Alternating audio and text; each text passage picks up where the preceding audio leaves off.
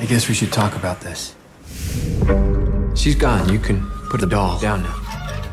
I'm fine as I am, Mr. Turner. It's been just a wonderful opportunity to do the kind of storytelling that I enjoy, which is insinuate something, evoke in you a kind of what could that mean quality in it, keeping you active in the storytelling, keeping your mind moving forward, what this could mean this and what could that mean, and then making you emotional. But when I read it, I thought I knew exactly how to play Sean. So I know how to do this. I had no idea how to do my character. But yours is a. You, well, you've done tremendously, ob- obviously. But it is.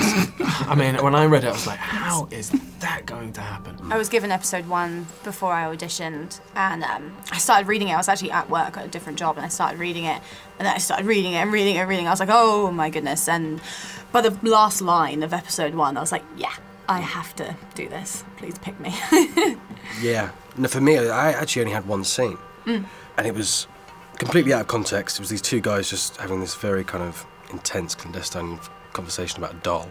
Right. And I had no, I had no idea what this was about, and it just really intrigued me. And then after reading the first three, it was just very addictive. And I wanted to tell a story about a seemingly perfect family where they got the right house, the right careers, and everyone's beautiful and everything's in place. But when you go behind that facade, you realize actually everything's broken and everything needs to be repaired. Are you, um, Confident, responsible, and determined.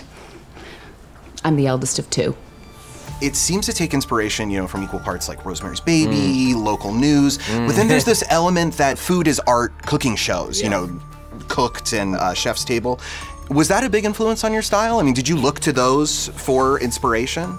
You know, I don't go, I don't, when I direct something, I don't go, okay, this is what I'm gonna do now. I'm gonna watch this movie and then this is what I'm gonna do. But all of those things are inside me as I watch them. Rosemary's Baby is just, you know, the vocabulary when I watched it was so, it, it pervasive, this idea of just giving you hints and dribbles of what's going on. And you have to almost lean to look at the frame to see someone's whispering in, in that room, but the door is half open and what is she whispering? And all those things that it taught me. So I'm glad you see all those, all those influences are definitely uh, in me, and, and food is art.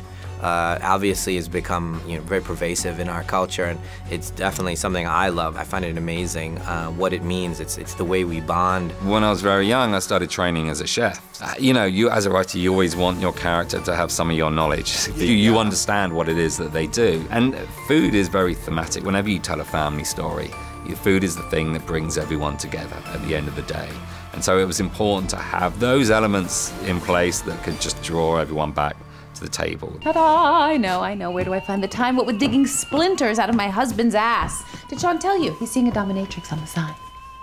Mama's coming! You find a you know a level of horror in Yes. cooking that I don't think I've ever really seen explored to that level before. Yeah, you're right. Actually, cooking shows and stuff kind of de-emphasize the kind of bar- barbaric nature, yeah, of it all, and kind of say, "Hey, oh, this isn't bad," but we're we're showing you kind of what it's like to, to kill something or skin something and the violence of it. Because underneath it all, I, I think it's very much who we are as human beings. There's there's rage and there's beauty and all that stuff, and I think this couple is dealing with a lot of emotions and that, and the cooking brings that to the surface.